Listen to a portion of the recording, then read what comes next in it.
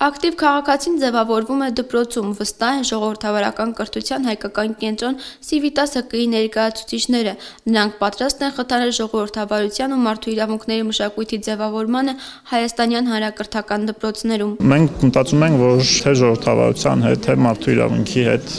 Հայաստանում խնդիրները ակնհայտ են բայց մենք որպես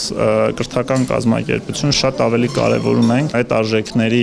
տարածումը եւ ավելի արմատավորումը դպրոցական միջավայրում։ Civitas-ը ՄԱԿ-ի ժողովրդավարության հիմնադրամի ֆինանսավորմամբ երկու տարեժամկետով կիրականացնի ժողովրդավարության եւ մարդու իրավունքների կրթությունը Հայաստանում ծրագիրը։ Ծրագրի պաշտոնական բացման միջոցառման ժամանակ Անահիտ Բախշյանը նշեց. «Եթե ամեն մեկը մի կերպ մեկնաբանի ժողովրդավարությունը, ապա կունենանք այնինչ ունենք Հայաստանում»։ Մեր երկրում շատ դժվար է այդ կրթությունը իրականացնել, որովհետև այստեղ հավաքվածներս ամեն օր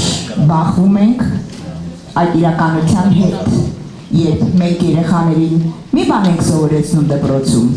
բայց ինքը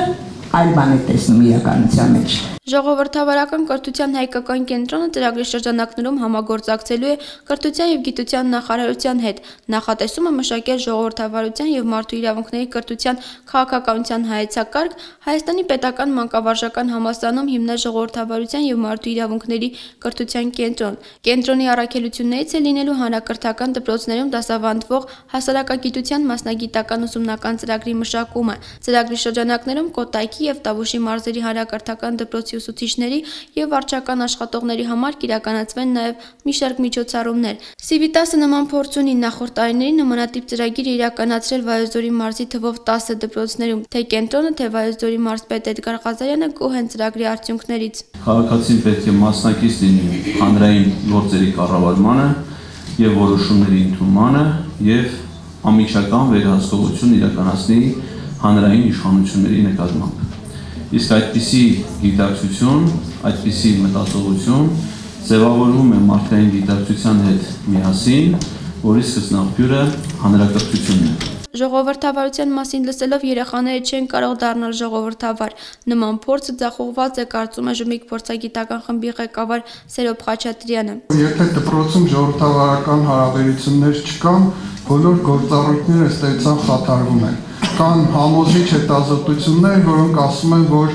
վախը ազդում է երեխաների ուղեղի աշխատանքի արդյունավետության վրա։ Վախեցած մարդը չի կարող լավ սովորել ֆիզիոլոգիապես, նույնիսկ եթե շատ ցանկանա։ Ինչպես ասել է Չերչիլը, ժողովրդավարությունը կառավարման լավագույն ձևը չէ, սակայն դրանից լավը մարդիկ դեռ չեն հորինել։ Հայաստանը նախ ժողովրդավարության ճանապարհը պետք է անցնի։